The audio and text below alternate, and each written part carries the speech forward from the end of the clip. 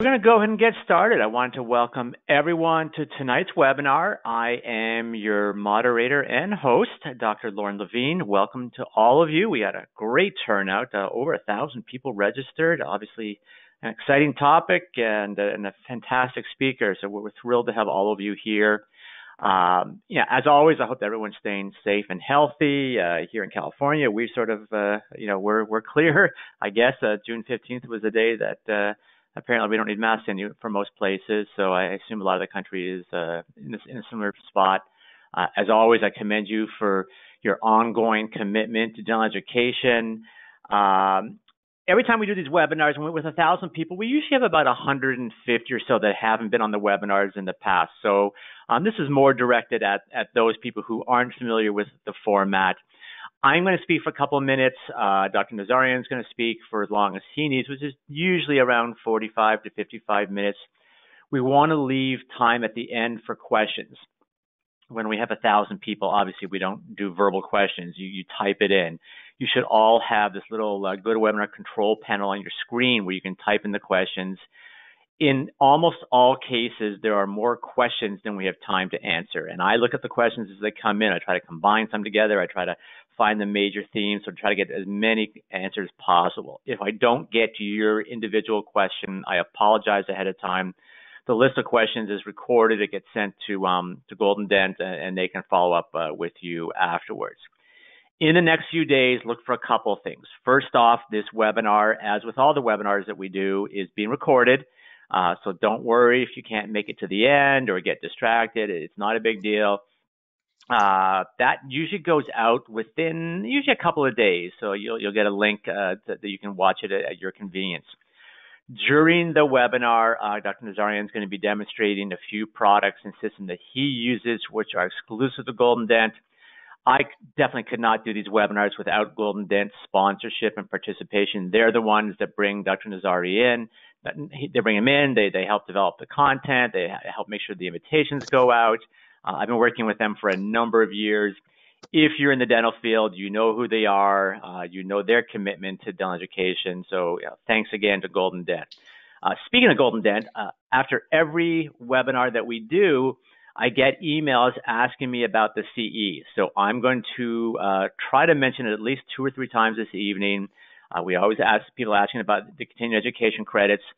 Basically, there's nothing you need to do other than sit here and enjoy the webinar.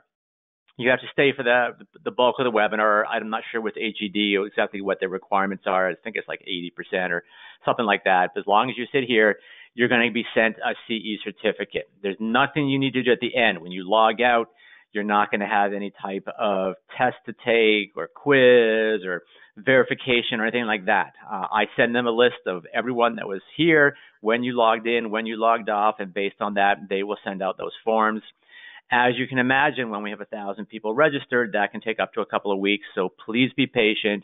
Uh, feel free to reach out to me within a couple of weeks if you don't have it, but they're pretty good about getting them all out. Uh, and with that out of the way, once again, I wanted to welcome back Dr. Ara Nazarian. Uh, he maintains a private practice in Troy, Michigan, uh, with an emphasis on comprehensive and restorative care. He's a diplomat of the uh, International Congress of Oral Implantologists. He's an adjunct clinical instructor at the University of Detroit Mercy School of Dentistry. His articles have been published in most of the popular dental publications. He's consistently listed as a top dental educator. He's conducted just a myriad of, of lectures and hands on workshops on aesthetic materials and dental implants throughout the US, Europe, Asia. Uh, he's the lead faculty for Amplify Dental Training, which uh, teaches atraumatic extractions, grafting, uh, immediate dentures, and all aspects of dental implants. So, Ara, we're thrilled to have you back and looking forward to tonight's presentation. Great. Thank you so much, Lauren, and welcome everyone. Tonight we'll be talking about Introduction to Guided Dental Implants. In the past, Usually when we were placing implants, we were doing it freehand. And so first, I'd like to start out the presentation showing an example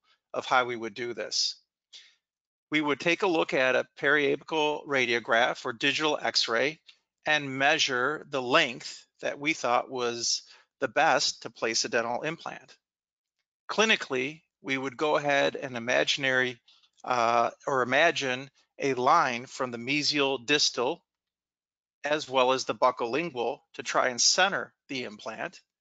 And then we would go ahead and use bone calipers once the patient was numbed up to identify the thickness um, of the bony ridge that was remaining that was going to be receiving the implant. If people have a CBCT, you could take a CBCT and, and um, measure the dimensions in that case as well. Our ideal implant placement goals have always been the same. And first, we always wanted a minimum of at least a millimeter to a millimeter and a half of bone buccolingually. There should be at least a space of 1.5 to 2 millimeters from an adjacent tooth. And there should be about 3 millimeters space uh, from another implant. And the reason for that is the studies have indicated if you have two implants placed and they're less than three millimeters apart, if for some reason one of the implants has bone loss, that bone loss will quickly carry over to the other implant if it's less than three millimeters away. But if it's greater than three millimeters away, then um, the studies show that that doesn't happen um, or doesn't happen as often. So to review again, we want a minimum of about a millimeter of bone on the buccolingual aspect of the implant. There should be about 1.5 to 2 millimeters of bone um, or space, excuse me, uh, from adjacent teeth. And there should be about a 3 millimeter distance uh, between implants. Ideally, if we're looking in the lower ridge, we want to be about 2 millimeters away from the inferior alveolar nerve. And if we're looking, let's say, at a floor of the sinus, uh, for people that are beginning in their implant placement, I would recommend staying away from the floor of the sinus about a millimeter. However, you may see some cases where we actually tap into the floor of the sinus or do a small sinus bump. But for tonight's purposes, we want to focus on these placement goals. Now, as we mentioned, radiographs, whether digital um, or traditional were used. Um, some people have used their CBCT and not ordered any um, surgical guides, but they've used them to identify uh, the dimensions uh, for implant placement. So on this particular example, we have a CBCT, and in all CBCTs, you usually have four panes or four windows. The one window would be more of like a 2D panoramic view, you have a cross-sectional view where you can actually measure or put a virtual implant into that position. You also have a three-dimensional view as you see in the lower left-hand corner of the screen. And then lastly, in the upper left-hand corner of the screen, you see what we call the axial view. So if we look at the axial view, we wanna try to be as centered as possible between the two adjacent teeth, as well as within the ridge. We look at the 2D uh, view to identify the length and the orientation that we would want to place this implant. And then we can actually measure, and it doesn't matter what software you have. In my particular office, I have the CareStream, so it's the CS software that comes with that. But all CBCTs have a software where you're able to either measure or virtually place an implant into the region to see if in fact um, it would be able to accept uh, an implant, as in this case, a 375 by 8.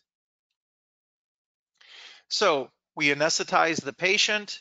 We identify that there's plenty of keratinized tissue um, throughout the ridge, so there's no need to have to reflect a flap.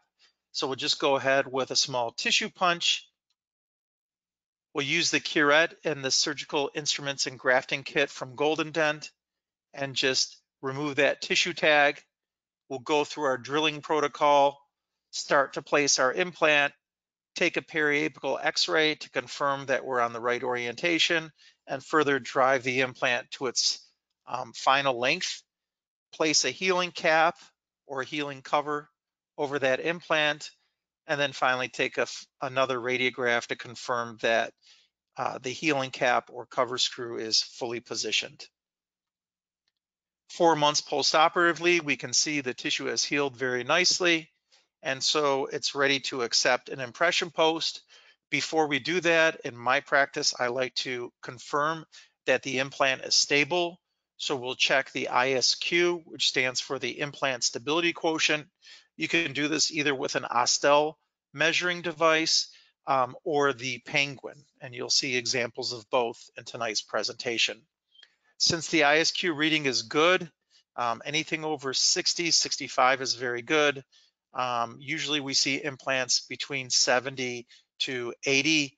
Very rarely are you gonna have an implant that's in a 90 because that would be something more like concrete or very, very dense um, wood. So usually 71 is uh, very ideal. And so we know we can go ahead and take the impression and complete uh, the prosthetics for the implant.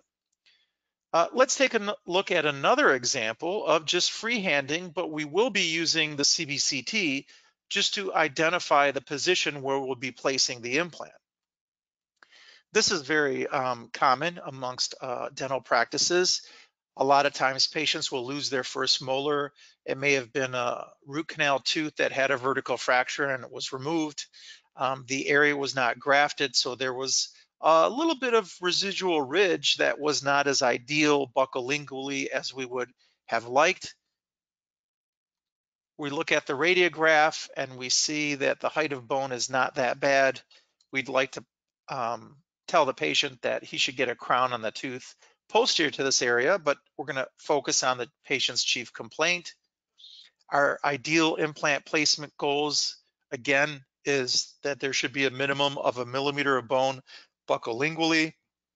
From the implant, there should be a space of about 1.5 to 2 millimeters from adjacent teeth. In other words, we don't want to get too close to adjacent teeth. Otherwise, that can cause some issues with the periodontal ligament, uh, thus irritating the tooth, uh, requiring that tooth to be endodontically treated. Also, we already talked about that implants should be at least three millimeters apart from one another and we should be about two millimeters away from the inferior alveolar nerve. Looking at the CBCT that we've acquired with the CareStream, we identify the 2D view, which is like the panoramic view, the cross-sectional view, the 3D view, as well as the axial view. And in this case, we went ahead and virtually placed a 5 by 10 implant and here you can see the positioning of that. Here's a closer view of the cross-sectional view, which illustrates that we're about two millimeters away from the inferior alveolar nerve canal. We identify that buccally and lingually, we have a certain dimension as well as uh, in the length. So in this particular case, we chose to go with a five by 10 a Dean Tourig uh, dental implant, which has active threads, which we'll talk about momentarily. And so our goal is to anesthetize the patient. When anesthetizing the patient, we're also going to visualize, since we are not using a surgical guide in this particular case, but just the CBCT. So we're going to draw an imaginary line mesial distally and try to stay centered between the two teeth as well as going buccolingually. And so now we know at the cross point where the drilling protocol will start or be initiated to uh, place the implant. If we take a look at the um, periapical film, we see if we were to compare the two adjacent teeth that ideally we would prefer to be more parallel to the premolar as compared to the molar since the molar is actually tipped more mesially. So we don't want to tip the implant that much. We actually want to be more parallel to the premolar in the number 29 position. Before I create the full size osteotomy, I'll always start with a 1.95 or two millimeter pilot drill, place a paralleling pin, and then take another radiograph to confirm that my orientation of the drill is, as ideal as I would like. And so here you can see we're quite parallel with the premolar, so we can further drill. Before we do, we're identifying where the keratinized tissue is. if we were to just do a tissue punch, there would not be enough keratinized tissue on the buccal aspect of that 5 by 10 millimeter implant. For that reason, we will reflect a flap. And so when we readapt the tissue, we'll readapt it and make the incision in such a way that there will be keratinized tissue on both buccal and lingual surfaces of the implant. So again, a great way to check this is visually um, by just stretching the cheek. A more complete way, in my view, is to infiltrate the area and for those areas that blanch into the white um, view or white uh, perception of the uh, gingival tissue, you can tell that there's keratinized tissue. And in the areas where the tissue balloons, we know that that's non-keratinized tissue. So this slide is great in identifying that yes, indeed, we do need to reflect a flap. Again, we'll go ahead and use the Golden Dent instruments. This is great for any surgical procedure. Not only does it have a molt and a curette and an Orban knife, but you also have tissue forceps um, as well as bone files and a bone spoon. So again, this is from Golden Dent. Here you can see where we've readapted the tissue. And so when this heals, this will have keratinized tissue on both buccal and lingual aspects of the implant. We always will confirm that the healing cap is um, tightened so that it's all the way into the implant. And again, you can see the nice aggressive threads of the Touareg uh, OS implant from Adin. So being able to do freehand dental implant placement um, is very convenient. However, every now and then I have patients that present to my practice and the implant was already placed and they're like, Dr. Nazarian, can you restore this implant? Well, not only does this implant have some bone loss, but the orientation of this implant doesn't follow the basic principles that we've already reviewed this evening. And so this is what I've seen over the years coming into my practice from practitioners that may not be as experienced in placing freehand implants. In these cases, it would be highly suggested that the dental practitioner use guided dental implant placement. Here's another case where a patient presented to me wanting me to restore this. And here you can see um, this is too close to the adjacent tooth. The implant is submerged quite a bit. Uh, to me, it, it appears that it's going into the inferior alveolar nerve uh, patient may uh, complain about sensitivity in the uh, anterior tooth or even some numbness on that region. These are some other examples that I just got off the internet by just putting or typing in bad implant placement. So if you're going to be placing implants into patients' jaws, it is imperative that we stay in the confines of the bone, but also stay within the guidelines that we already spoke of this evening. We want to try to stay as parallel to the adjacent teeth as possible. And ideally, we want to look at these from a prosthetically driven um, aspect. Uh, ideally, we don't want this huge um, lollipop crown or large uh, restoration that has overhangs that can create um, problems in the future. So our goal tonight is to talk about guided dental implant surgery. Guided dental implant surgery allows for more precise and accurate placement of dental implants than traditional methods. In fact, there's been several studies and several papers that have taken um, students that have not really placed dental implants and they used guided dental surgery and they were just a small percentage off angle compared to doctors that may have uh, a lot of experience that were freehanding. So although I freehanded for many, many years, my preferred choice is still to go with guided dental implant surgery. With guided dental implant surgery, the CBCT scans are taken of the jaw and they're used to create 3D images of the oral structures. The program uses this information to create surgical templates that determine the ideal and optimal locations for placement. So can we do freehand implant surgery? Absolutely. However, if your implant placement looks like the cases that we illustrated in the last few slides, then you will be held accountable for the um, misplaced implants. And, um, you know, that's not a good thing. So with the technology that we have today, there's absolutely no reason uh, why you shouldn't offer guided dental implant placement. Number one, it reduces risks. It makes it possible to see the anatomical structures of the jaw, of the teeth, and the surrounding tissue. In fact, the surgical time is reduced greatly. For me to do a single unit um, implant with guided surgery, I think the whole surgery is literally about five minutes, and that includes the radiographs. Um, so you're definitely reducing the surgical time when using guided surgery. I also do a better patient education with it. So when I present this to the patient, we'll review the CBCT together. And it's actually a selling point for the patient because they look at it and they, they say, I've been to two other consults.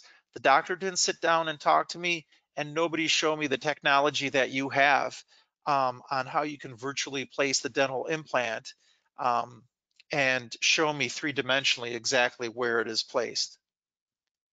Guided surgery also can um, make it so that we can immediately restore these dental implants as you saw in the last case. In the last case, in fact, we took out 31 or 27 teeth, excuse me. We placed six implants on the top, seven implants on the bottom, and the patient walked out with fixed provisional um, restorations, obviously once they came out of sedation. But the total surgical time was about four to four and a half hours. And without guided surgery, there is absolutely no way that I'd be able to provide that for my patients. The implants can often be placed in compromised jawbone. We can see, uh, depending on the Hounsfield units, the unique structures of each patient's jawbone, whether we need to under drill or use a bone tap. And if we're doing multiple implant placement, it's just a matter of the laboratory placing a few extra sleeves based upon the planning that you already have had. There are several companies that can help you with this. Um, 3DDX is a very good company that I've used uh, quite a bit, and you'll see some examples that as we talk further into this um, presentation.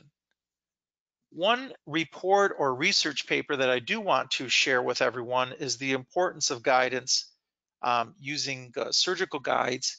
And the title of this is called Guidance Means Accuracy a randomized clinical trial on freehand versus guided dental implantation. And I wanted to find a very recent paper, and you can see this is January 20 of 2020. And so in the objectives, a randomized clinical trial was conducted to compare all three known static guided surgery protocols, whether it was a pilot, partial, or fully uh, guided case and compare these with free-handed surgery in terms of accuracy under the same types of conditions. And so what they were really looking for was variations in angular deviation. So angular deviation showed stepwise improvement in significant steps as the amount of guidance increased. So what does that mean? That means all guided protocols turned out to be significantly superior to freehand surgery, but they were not always significantly different from each other. Well, what are the conclusions that we could come up with based on this research paper? What did they come up with? Um, what they said essentially is the following. The results suggest that any degree of guidance yields better results than freehand surgery and that increasing the level of guidance increases accuracy. So the more guidance you use, the more accurate you're going to be.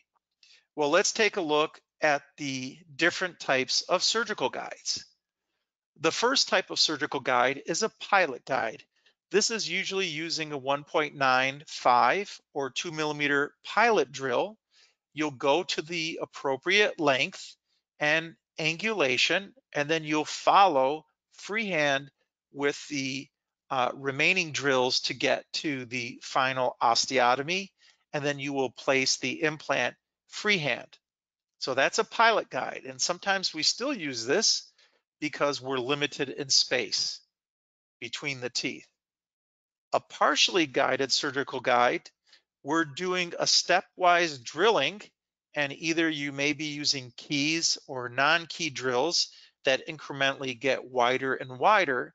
However, you cannot place the implant through the guide, so you would take the guide off and then freehand the implants without the guide in place. Lastly, we have what we call fully guided. Fully guided will go in a stepwise uh, fashion to the largest drills.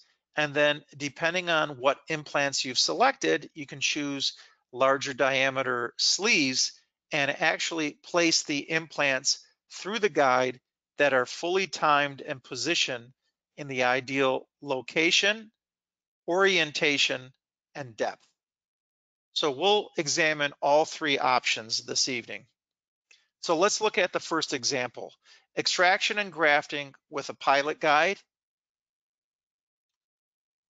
Here the patient presented with some discomfort on the lower anterior centrals. She had about class two mobility on these teeth. We went over the treatment planning session with her and we decided that because of what was going on periodontally with these teeth and the fact that one of the roots had a fracture, um, we were going to remove all four incisors, place two implants, and place a four unit bridge. So if we take a look at the radiograph, you can actually see the fracture on um, tooth number 24. And we can see how much bone loss this patient has.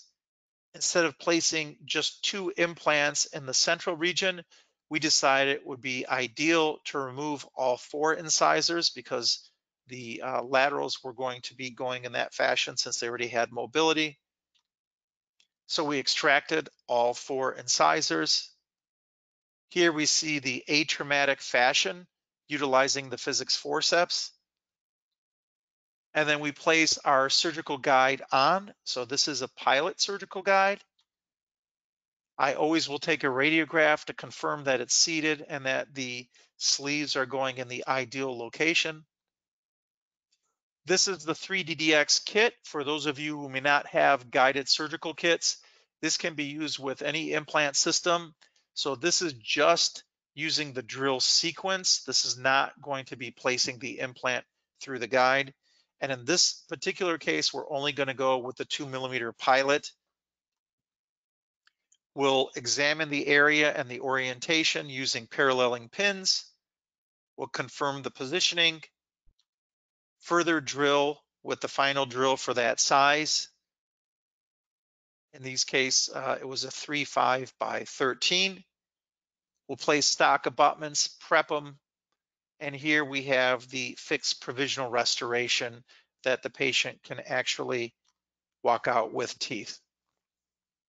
So utilizing guided surgery, whether it's pilot, partial, or fully, allows the dental practitioner to precisely drill, at least in this case, drill and then follow freehand with implant placement. How about an anterior case uh, in the aesthetic zone?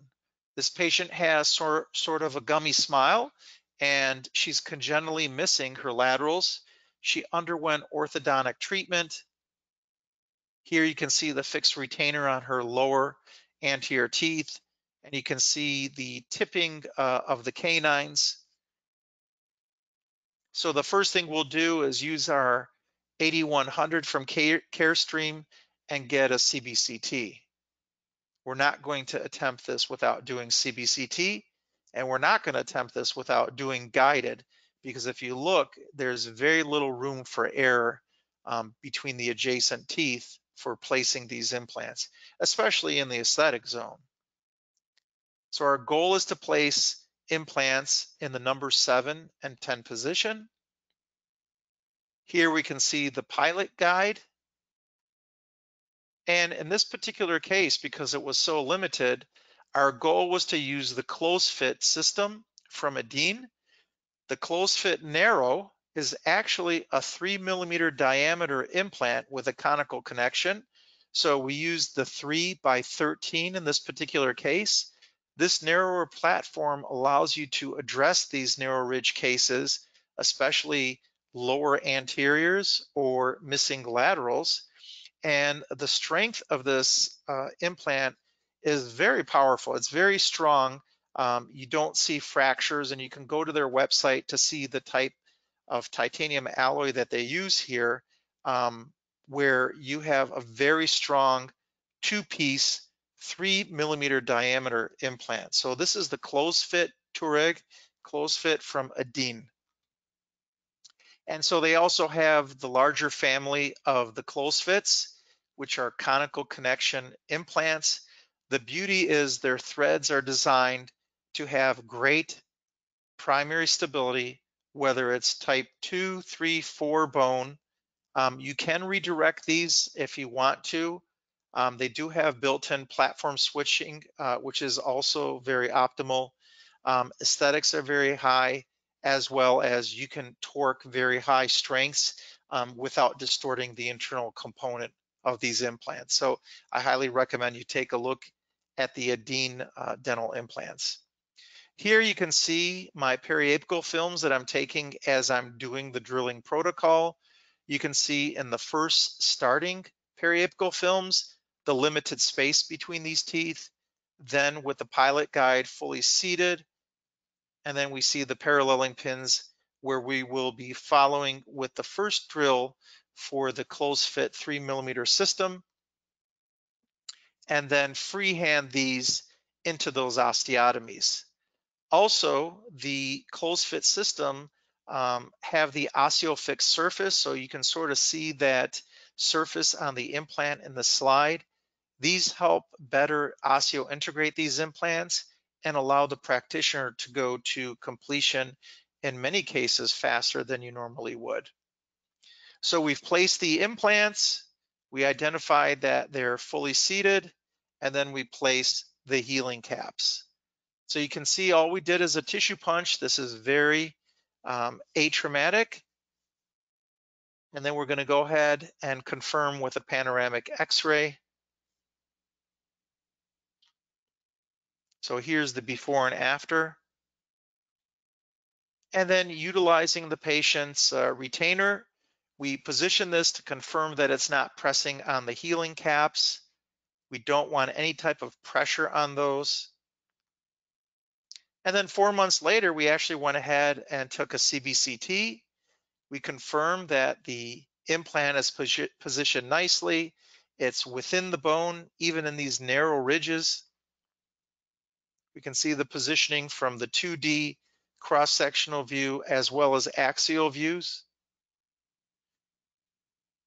And so using a laser, we uncovered the healing caps, unscrewed the healing caps and um, placed the open tray impression uh, posts into the close fit system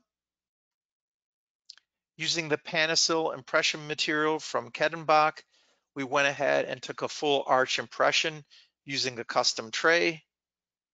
We'll go ahead and take a bite and an opposing impression as well. And from that, we had the laboratory fabricate custom abutments. And if we look at the positioning of the implants, because they're in the most ideal position of bone, we know that this will not be a screw retain restoration. Otherwise, the screw holes will be exiting from the facial or incisal aspect. When doing a screw retain restoration uh, in an anterior tooth, we want to make sure that is more towards the lingual. And because of the limited ridges, we were not able to do that. Thus, the reason for going with cement retain restorations on the custom abutments as seen in this picture. Here we have the final abutments torqued down. and then we go ahead and use the implant cement from Premier Dental, clean out the excess, take our radiographs to confirm that there is no remaining cement. And so here we have the panoramic view, and here we have the view from start to finish. Again, there's no way that I would be able to provide this type of precise um, implant dentistry without using some type of guidance. So let's take a look at now fully guided dental implants. We took a look at partial or pilot. Let's look at fully guided. This is a very straightforward case. A patient presents.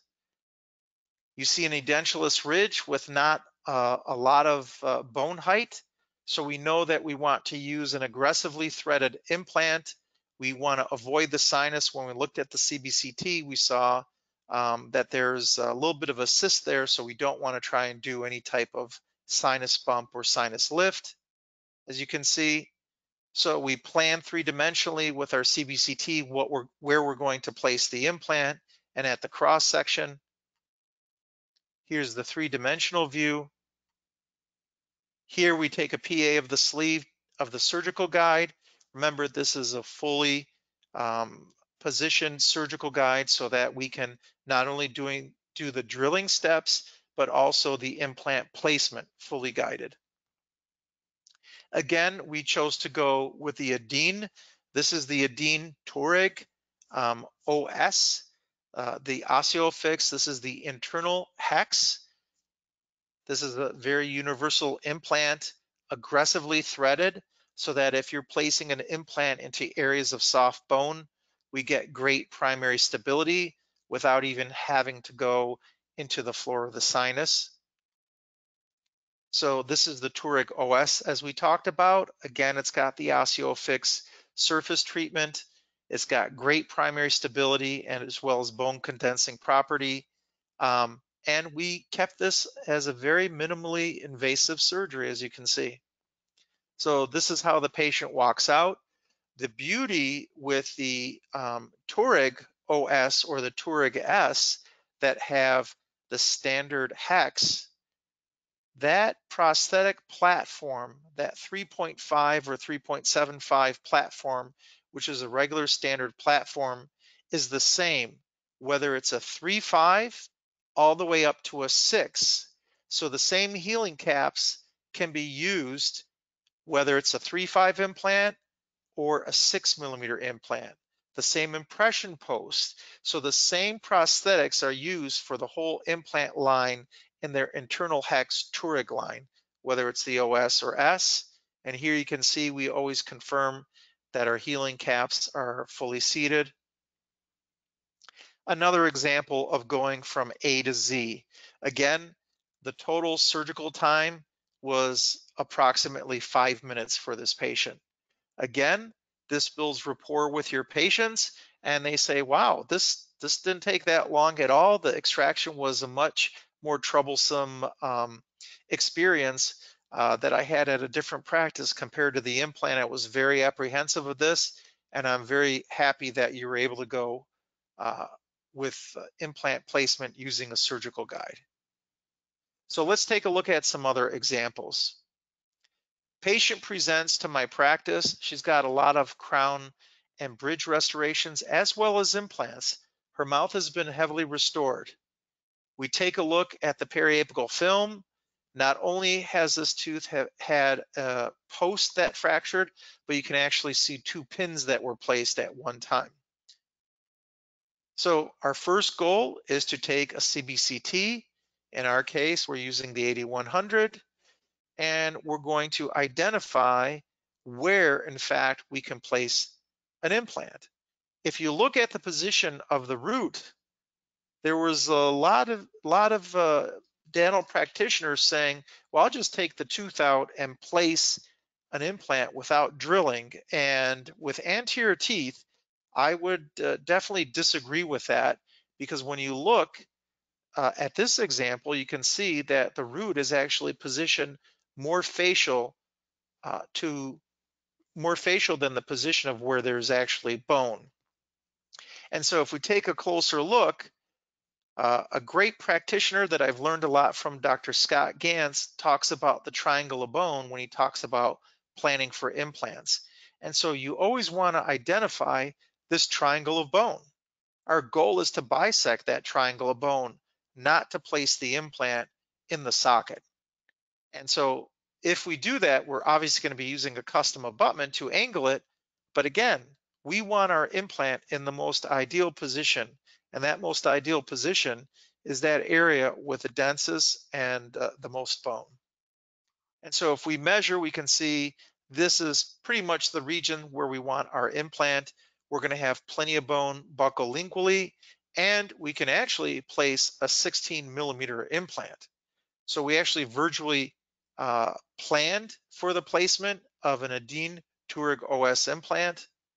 And here you can see how we've planned it. And again, just look at the patient's history. You can see various implants placed, various crown and bridge, um, and various endodontic treatments. So that means eventually some of those teeth may fracture as well. We're replacing a canine, so my goal is to make sure that this tooth is going to be strong enough to be able to handle a lot of the biting forces when it's fully restored. So my goal was to go with a 4.2 by 16 millimeter length Touareg OS or OsseoFix implant as they call it. And we're gonna go fully guided. So the laboratory fabricated a fully guided surgical stent. And then they fabricated a custom abutment that was already milled. And so I like to have these anodized so that we don't have any gray hue showing through the gum. And so the day of surgery, we have all our armamentarium prepared. So we're gonna atraumatically extract this tooth once we've anesthetized the patient. And you can actually see the pin that was broken off as well in that tooth. So that tooth had been uh, restored several times the, according to the patient and the post kept breaking off. This is one of the reasons why we chose to place uh, an implant instead of try to restore it again. You can see we've atraumatically extracted the tooth and curetted the socket. And so now we'll place our surgical guide, confirm that this is fully seated. We see that it's fully seated, and so now since we're going fully guided, I'm going to examine the Adin uh, surgical drill kit and insertion toolkit. It's divided pretty much in two components. The left side is all the drills and the right side are all the insertion tools. Now, the beauty of this kit is that number one, it's fully guided, but let's take a look at some of the other added benefits. Number one, it's a keyless system. So with a keyless system, there's no need to use keys or handles to go to various size burrs or drills. So this makes it very easy for the practitioner to not have to use multiple hands or position multiple keys when going to progressively larger size drills. The other highlight of the system is what they call the active flow irrigation technology. The drills have been created with a unique design that actually forces the cooling saline through the guide to ensure that the irrigation reaches the bone.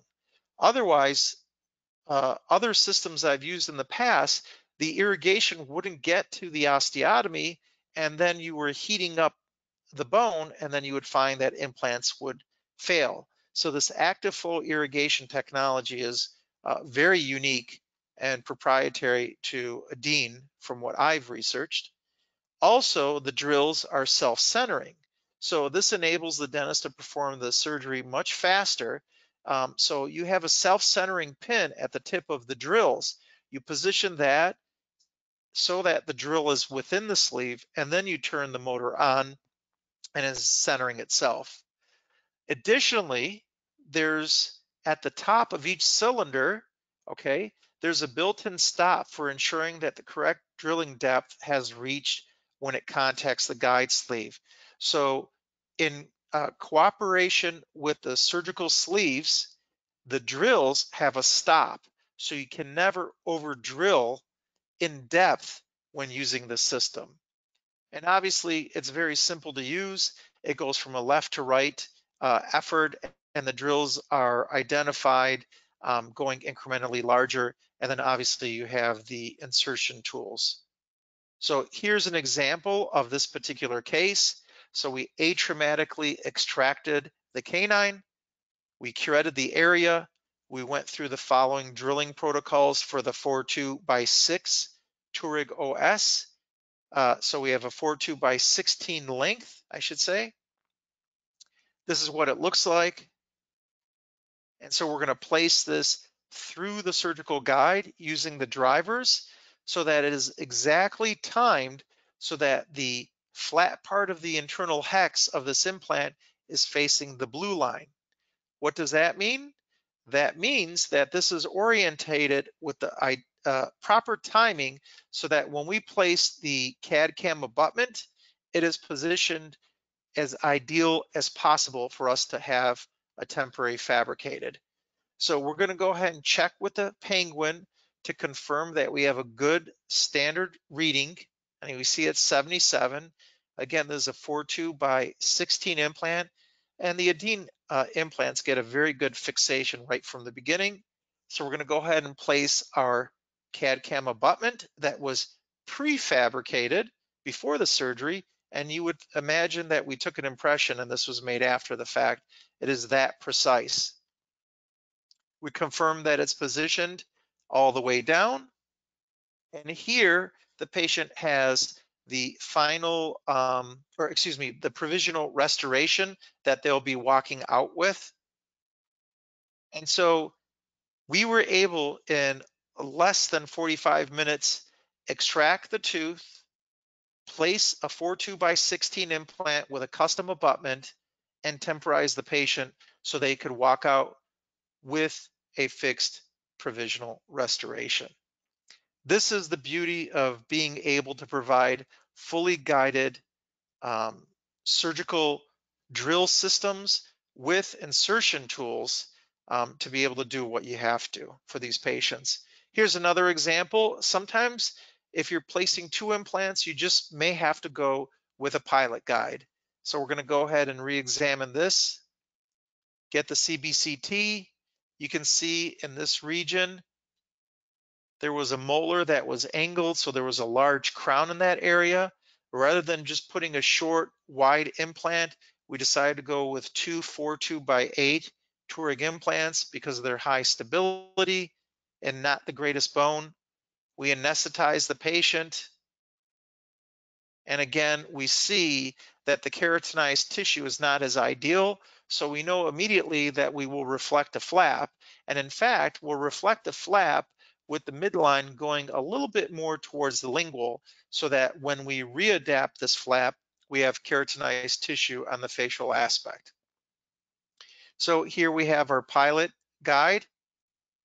We take a radiograph to confirm that it's seated. We'll do our first, first um, pilot drill and then once we've achieved that, we see the orientation, I'm going to reflect the flap and follow through with the corresponding drills, freehand for 4.2 by 8 millimeter Touareg OS implants. Again, we've already talked about the highlights, but if you looked at the radiograph, you see that the bone was not as ideal as we would like. Uh, thus the reason using the uh, OsseoFix implants. So we place the two, four, two by eight. Here we can see them positioned. And because the ridge is uneven, we actually place additional grafting to the facial aspect of those. Here we have the Osteogen plugs. You can get these also from Golden Dent. And then we use the PTFE sutures. So in that case, we'll just use smaller premolars. I'm going to finish off with this last case that shows a combination of everything that we've uh, learned this evening, in addition to some restorative and extractions and grafting. A patient presents to my practice who hasn't been to the dentist in many years. When we look at the radiograph, we see uh, a variety of teeth that have severe decay, in addition to some of the wisdom teeth that are also affected with large decay. So we know we're going to be extracting all these teeth. We present that to the patient. The patient returns for IV sedation. We go ahead and do the restorative first. So we'll remove all the decay, place the um, composite restorations. This is the Wago fill, which is a great composite restoration. It's zirconium infused, so it's very strong, very minimal shrinkage, low wear, and very radio opaque. So we'll go ahead and place those restorations. Once we've uh, completed the restorations, we'll go ahead and extract the teeth. In the ideal positions, we'll go ahead and place grafting material. In the areas of the wisdom teeth, we may just use uh, either CollaPlug or BioViva. Again, we're able to extract these teeth using the physics forceps. These help get these teeth out very atraumatically. And so we've preserved the buccal plate. So at this point, we can just do socket preservation using the Osteogen, which come in the two different sizes. So obviously for the premolar, I went with the slim. Primary closure is not necessary when using the Osteogen plugs from Golden Dent. And so we're going to continue in the other quadrant, start with the restorative, then extract the teeth, graft in the area of the premolars, and then in the areas in the wisdom teeth, we will place BioViva. This is very uh, nice material because not only is it bacteriostatic, but it's hemostatic. So it helps prevent uh, bleeding and it helps prevent dry socket, I found. And so this is what that quadrant looks like. We're gonna proceed on to the other two quadrants Remember, this patient is sedated, so we're trying to work within quadrants, uh, one quadrant at a time. We're gonna go ahead and extract the teeth. Here we're using the um, osseous cleaning and shaping burr kit, and that we trenched around the tooth. And then we used the BioViva for its hemostatic uh, abilities. And then lastly, we work on to the last quadrant, do the restorative. We also did the uh, root canal core and crown prep. And so when the patient came to, this is the Panorex of what we were able to complete. Four months go by and the patient's now ready for implant placement. We're gonna take our CBCT. We're gonna plan on our CS 3D imaging from Carestream for both implants we're going to forward this information to 3D Diagnostics. If you get a chance, please take a look at their website too at 3ddiagnostics.com. And so their team can go ahead and put your planning into their software, or if you don't have planning, take the DICOM files and start um, creating a plan. And so here we can see what we plan on doing, placing two implants, we anesthetize the patient, use a tissue punch, go through our drilling sequence, and place the implants with their corresponding healing caps.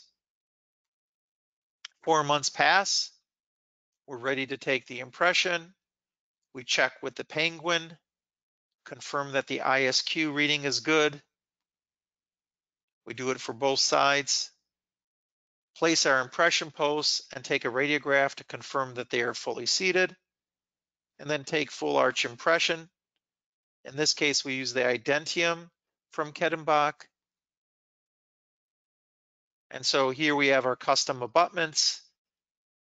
We confirm that those are seated, and then followed by the cementation of the full zirconia crowns.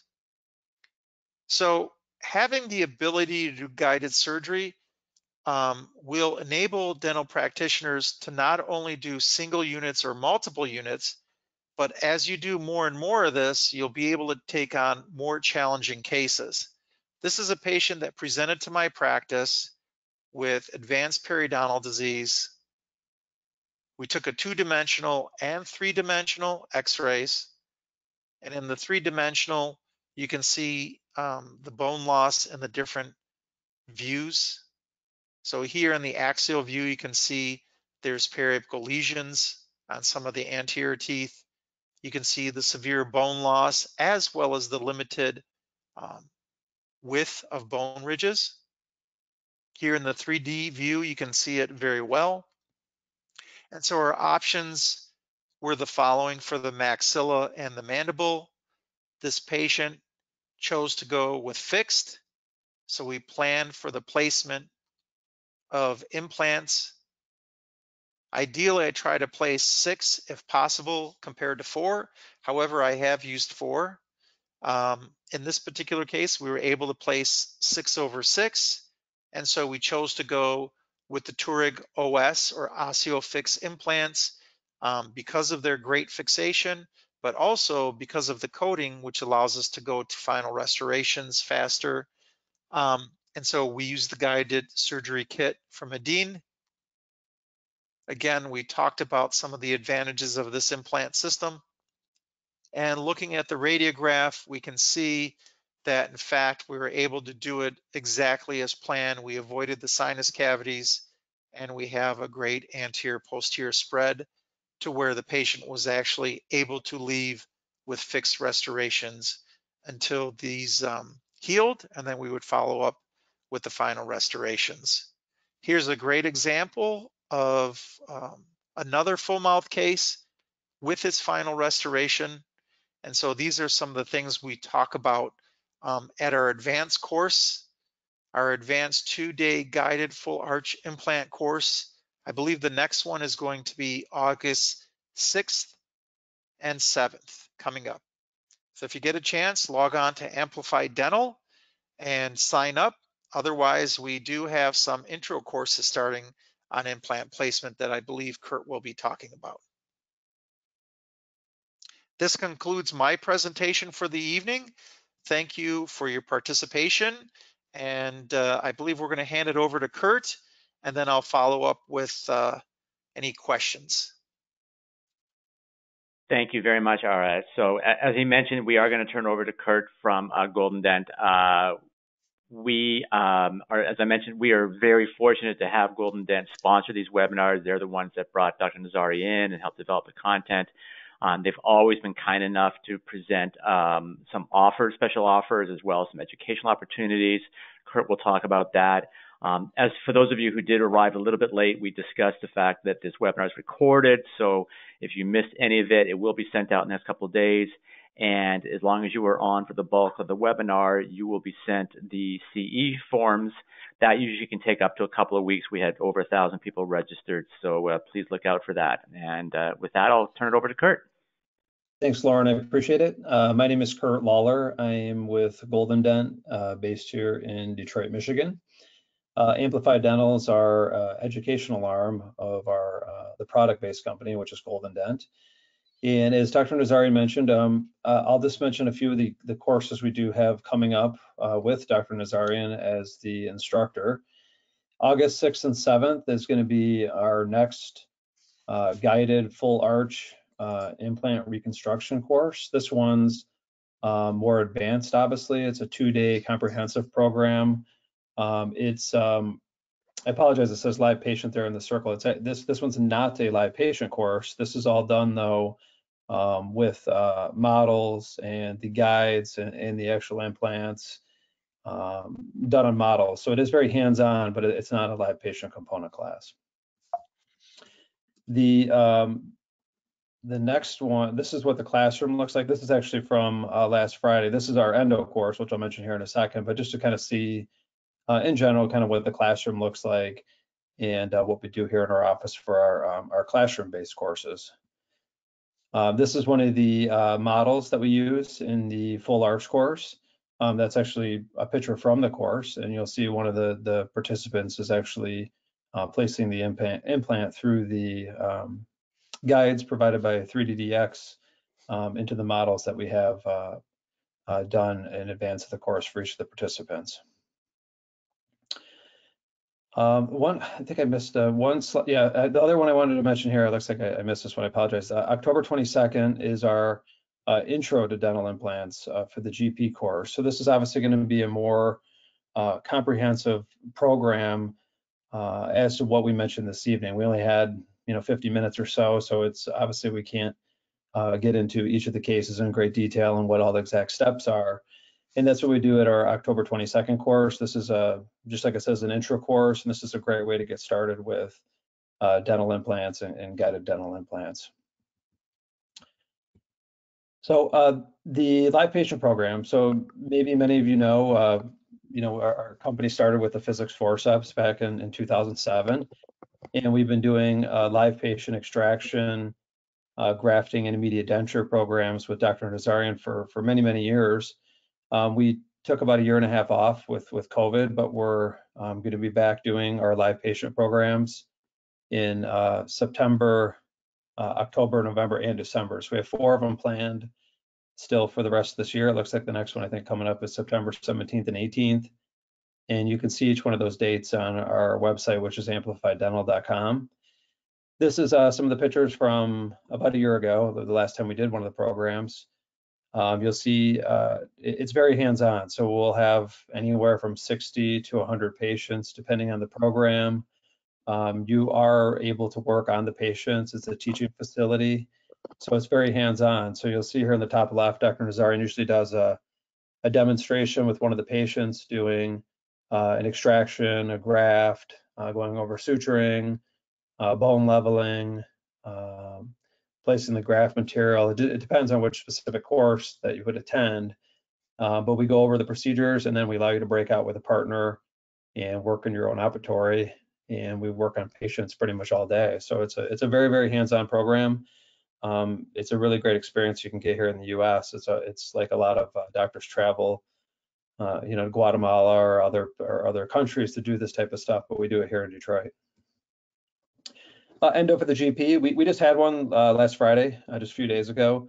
Um, we'll post some more dates for that one soon. Our, our first two courses for uh, 2021 did sell out, so we'll um, post some more of those dates here soon. And if you have any interest in learning uh, endo, which is not the focus of the program this evening, we'll have more of those dates available soon on our website.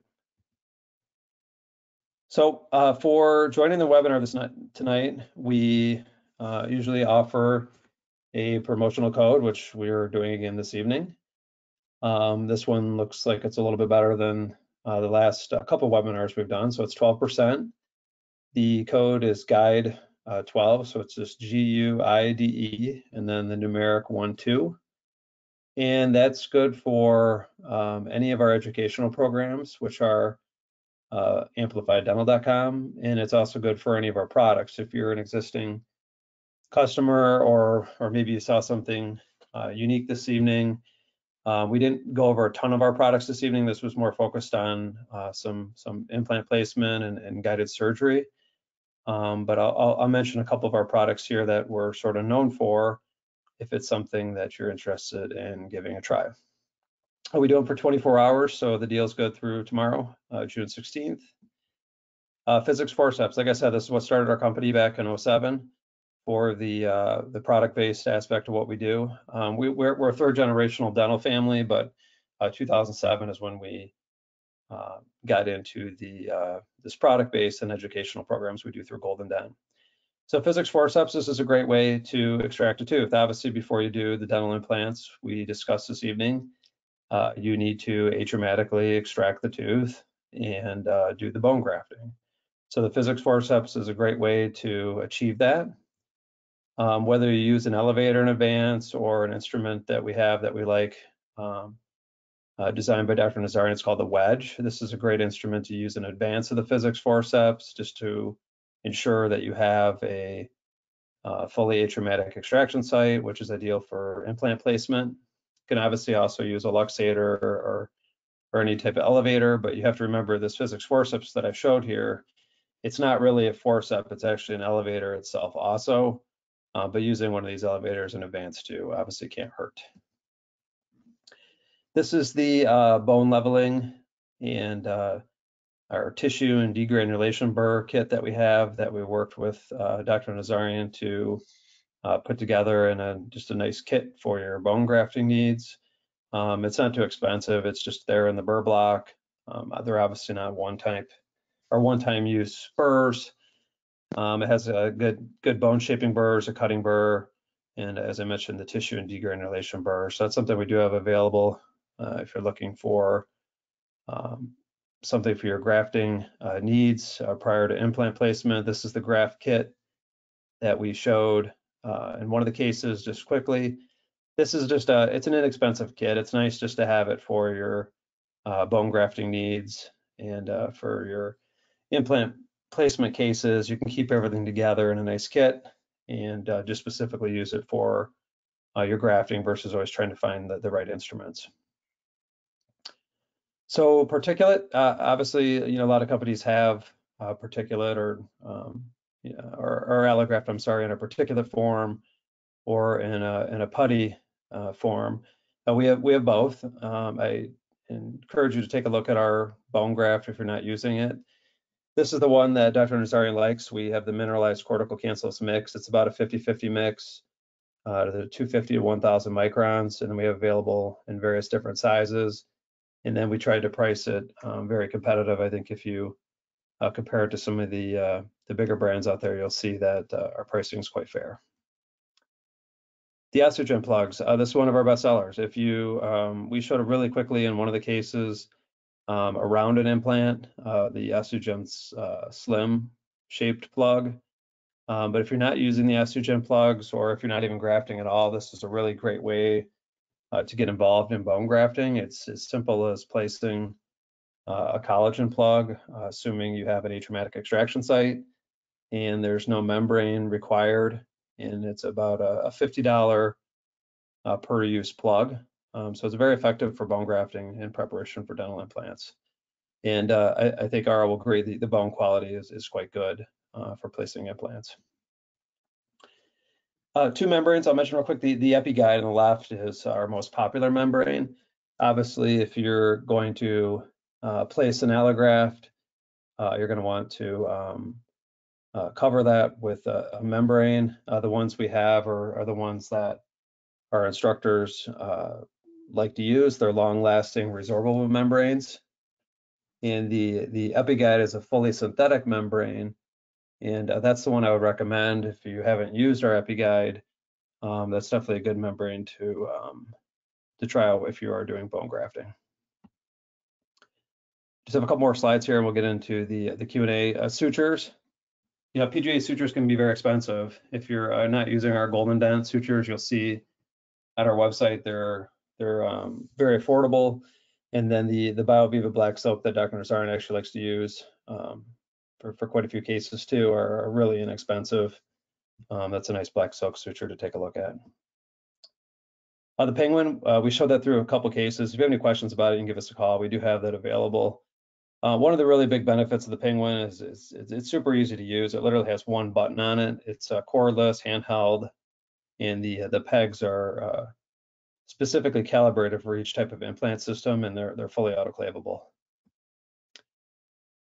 Uh, I, I, just threw this in here last minute because I saw at the end we, we covered one of these cases. Uh, Wego fill is a composite that uh, we worked with uh, Dr. Nazarian on for a number of years to to kind of develop and find one that we really liked. Um, so this is a a product that we work closely with him on, and it, it is a really uh, good composite for restorations. We showed it uh, uh, at the end there. and it was a little off off subject for what we're doing tonight, but the the Wego fill is a great um, a composite if you're looking for uh, a different composite material. This is really off subject, but I'll mention it real quick. I always like to mention our uh, new endo line, just so I have your attention. Um, we've been having really, really good feedback on this. Like I just mentioned, we did our June uh, endo course uh, last weekend, and and uh, th this is a similar file system as, as to the ProTaper Gold. Uh, it comes in a sterile uh, blister pack. And, and I added even, uh, you know, compared to like an Edge Endo or some other brands, I, I found that I'm getting more and more feedback daily from, you know, as more and more of these files kind of get out of the market that um, our files are, are, are, really good. And a lot of people like them even better than the uh, or, or the ProTaper version themselves from Dentsply. So something to take a look at. And uh, I'll leave it at that uh, for this evening. So we have time for the questions. And if you have any questions on like Adin, we, we don't sell uh, dental implants, but if you need us to uh, connect you with 3DDX or Adin, uh, please feel free to contact us in the office so we can um, connect you with somebody. Thanks. I'll turn it back to Lauren and we will go through the questions you have. I appreciate everybody's time this evening. Thank you, Kurt. Appreciate it. Uh, all right, you ready for some questions? Absolutely. Okay, and as I mentioned to everyone at the beginning, uh, we do our best to get to as many of these questions as we can. There's there's quite a few, and I'm going to combine a few together. So if I don't get to your individual question, I apologize. We do have to end at the bottom of the hour, so uh, we're going to try to get as many as we can. Um, I guess there, in one of the cases, one of the first earlier cases you showed is why not take a CBCT when you place the implant instead of waiting four months to check that you place the implant correctly? Well, if you're using a surgical guide, then that would sort of be overkill, and we don't want to expose the patient to too much radiation. So for that reason, I wouldn't do it. But if you felt for some reason the implant didn't go the way that you wanted, then absolutely I would take um, the CBCT at that time. Okay. Um, what are the basic steps for fabricating an immediate provisional? So what I found is you can do one of two things.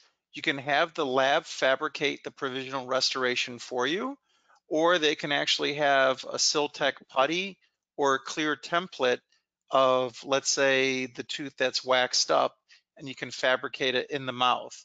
If you do fabricate it in the mouth, then you do want to use like a rubber dam or something so that you don't um, push temporary acrylic material down through the sutures um, into the area of where the implant is or into the graft site. Um, so usually I'll have the lab fabricate it. If we're doing a fully guided case, then I'll absolutely have the um, provisional prefabricated. If it's um, not a fully guided case, and so I can't have it timed, then they'll either do like a clamshell type of uh, provisional, or I'll just have like a Siltech um, impression of the wax up and use it Okay. like a regular crown and bridge. Sure. Is it safe to use lasers in an implant region? Yeah, a lot of times people have used uh, lasers to de- decontaminate an area. Um, so the setting that you're going to do is uh, going to be dependent on what the manufacturer recommends for um, cleaning the area, but not for actually, you know, cutting tissue and things like that. Right. It's more for decontamination. Okay. Um, I know this was, I guess, for the case you were showing, like right around uh, 8:30 your time. Why take a PA of the sleeve? I only see a floating sleeve. What does the PA? Because I'm very meticulous, that's why. And and it helps when explaining it to the doctors what they're looking for. Um, the f- floating sleeve, sometimes if a surgical guide is not seated properly and you take the radiograph, that sleeve is not parallel to the adjacent teeth. It's going on a weird angle. So I'd rather just know ahead of time that, hey, this thing's not seated all the way. Um, the sleeve is headed towards the mesial aspect of the adjacent tooth. So uh, that's why I just tend to always take that radiograph. You don't have to, but um, that's something I just like to do for teaching. Sure. Do you notice a higher success rates when placing a healing? There's a word here. I assume they meant a healing abutment, or when replacing the original implant screw with a complete closure. So if I understand the question correctly, the question's asking, do you find better healing when you keep it as a single stage with the healing cap sticking out of the gum as compared to bearing it? I would think Um, that's, I- that's why I got it too. Yeah. Yeah, that's what I would assume the question is. Uh, quite honestly, I would say when using an actively threaded implant system like the Adin, we're not worried about, you know, this implant not being fixated. So we're not worried about there being micro movement as you may find with an implant that doesn't have active threads. Um, so that's the first thing. The second thing is if you bury an implant, usually you're burying it to avoid the oral bacteria to getting to it or because you're worried it's going to move. Um, so what I found is patients dislike the fact that you have to numb them up again in four months to uncover the implant. So now with implants that are highly fixated like the Adin, I rather keep the surgery as what we call a single stage, which means when it heals, all I do is unscrew the healing cap four months later, or maybe, you know, in some cases, it may be 12 weeks later um, or less, uh, depending if it's coated or not. Um, and then just take an impression. We don't even have to numb them up as yeah, compared to the traditional two stage surgery where you would bury it, you'd be cut open twice, um, and then you had to wait another three weeks for the tissue to heal around it before you took the impression. So this, um, the single stage approach is definitely what I use in my practice more so than burying it. Sure. If short implant success is not much different than long implants, then why use long implants at all with their associated risks? So I I don't know where the risk would be with a long implant as long as you're using um, guided surgery. The 16 millimeter implant that we used was used in the canine region because we had the length for it and because we know later with the way that this patient functioned and broke everything on that side, we want to make sure that this area is protected um, if this patient's going in lateral protrusive type movements. Sure. But yeah, um, I mean, um if you if you have the length, I say go with the longest implant possible. If you don't have the length, then you're going to have to go shorter. If you go shorter, you may have to go wider. So it all depends on the situation you're presented with. It's not one cookie cutter approach, unfortunately. Sure. Yep. When restoring a posterior, do you have the implant contact in centric occlusion or do you restore so when uh, centric uh, shim stock just passes? Just shim stock. Uh, usually I'll tell the lab to have it in a very light occlusion. And the reason for that is an implant doesn't have a periodontal ligament. So a tooth compresses when you bite. If you had it in a heavy bite, then what you would find is the implant's going to take all the weight and then eventually it can fail or get bone loss. So I will tell my laboratory if we're doing single units or you know a couple units here or there that we're going to have it in a light occlusion. Obviously, if it's a full arch, there's no such thing as light occlusion. However, in those full arch cases, we will have a flatter occlusal table and not have the steep inclines. Okay. What is uh, BioViva? Is it like Alvogyl? I'm not sure what Alvogyl is. Uh, the BioViva is like a cellulose, um, but it has some type of hemostatic agent in there. It looks like gauze, but it's actually cellulose and it dissolves completely. It helps um, with preventing dry sockets and it helps uh, stop bleeding if there's any bleeding. So I would say if you're using like, let's say a CollaPlug um, gel, excuse me, gel foam or something like that, it'll replace that and you don't need like four of them for one socket. Anyone who's used gel foam knows uh, it takes several of those little bullets to put in a socket to stop bleeding. With yeah. the BioViva, I found that to be the opposite. Okay. Can you explain the pilot guide? How did you create it and how did you position that initial tubes to be parallel? So I'm not the one creating it. I'm just um, planning the placement of the implants. And so then the laboratory, or in a lot of the cases you saw, 3DDX, will plan for the position of the pilot drill. So they're going to center that in the central location of the implant um, but they just they're limited with the sleeve that they could put so they just put a smaller sleeve just to get the first drill through. As we saw in like the lateral case or in the lower incisor cases there's no way to put a full sleeve between those little teeth uh, it wouldn't be positioned between the teeth. So the the laboratory if you have a laboratory doing it or 3ddx um, would plan that themselves. Right. Based off of um, what, what, what your CBCT shows. Yeah. Okay, I'm just trying to get to as many questions as we can here. So if you're going to do an extraction and not do an immediate implant, uh, how long are you typically waiting after that extraction before you place the implant? In the upper arch, I'm usually waiting four to five months before I'll um, go to place an implant. If I'm going to do it as a two stage, in the lower arch, I'm usually waiting three to four months. Now, also, it depends on how complicated was it to extract the tooth? Was there infection present? Things of that nature may delay it even further. But for the most part, it's four to five months in the upper, three to four in the lower. Okay. Um, question, I guess, I guess, I think it was the second last case you showed. You know, how long did that entire procedure take? That was was that all done in one session, up to the extraction, to socket preservation, and restorative procedures? Um, oh, the uh, the one with the restorative, yes, that was all Yeah. under IV sedation. Um, I believe that one was about three three hours. The Wow. nice thing is when patients are sedated, you can move pretty quickly. Yeah, exactly. Uh, I didn't have that luxury when I was doing perio for the most part. Um, due to limited interarch space when placing implants in the lower second molars, what is your advice on using a fully guided surgery? Any comments based on your experience?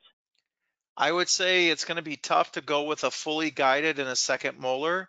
So for that reason, you may want to go with a pilot guide to just create the first osteotomy and get the proper orientation, and then go freehand with uh, shorter drills that may come in your kit um, following that and progressively going larger so that you can get it in.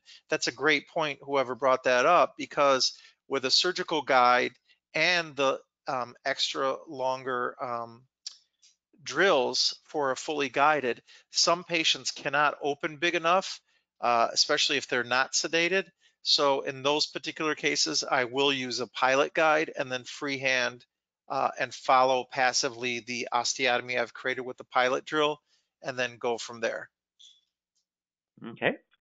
Um, are you routinely putting implants in into second molars if if all other natural teeth are still there, or are you just kind of letting that letting them go? Usually, usually I'm not unless the patient requests it. Okay.